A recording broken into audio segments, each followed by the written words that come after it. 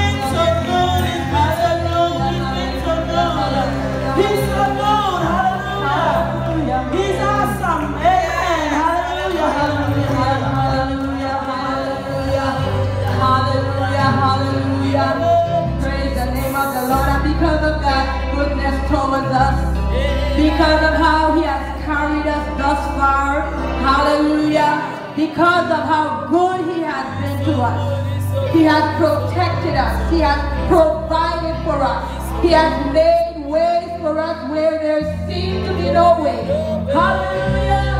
And as we continue to trust him, we're going to ask him to continue to open the eyes of our hearts. Hallelujah, that we will be able to see him. Not only to see him, but to see him high and lifted up because of who he is and who he will forever be. Amen? So we're going to ask him to open the eyes of our hearts tonight as we go into the year 2019. Hallelujah. Greater power, greater anointing, greater discernment in the spirit. Hallelujah. A closer walk with him. Hallelujah, hallelujah, hallelujah. Open